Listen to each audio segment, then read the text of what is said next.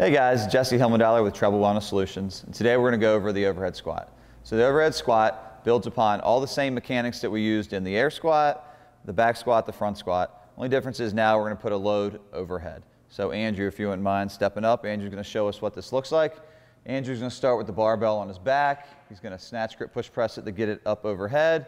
And really some of the same mechanics from the ground up are all the same. So even weight distribution across his entire foot. Hips are back, knees are out.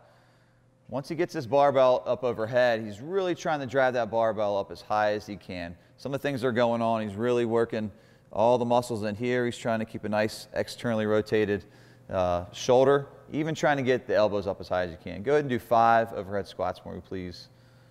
Andrew, nice. And so we can see Andrew has thoracic spine limitations. Basically, we're looking at tightness all through his back because you know, he's, he's an American. He's, he likes to sit down, things like that. So he's really tight through his back, and it's a big limiter here on his overhead squat. Now, he does have enough mobility that we think it's a good idea to train this. What we probably won't do is push the loading here with the overhead squat. We'll probably keep him lighter because it is very therapeutic um, for the lats, for the thoracic spine, the shoulders, things like that. So the overhead squat, very challenging movement, very challenging on the midline.